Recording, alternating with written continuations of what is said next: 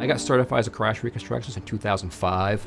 I've investigated 150 crashes. 90% of those are speed related. Vehicle rolled over several times. When vehicles approach 30 miles an hour over the speed limit, the injuries start getting more serious to the point of being fatal.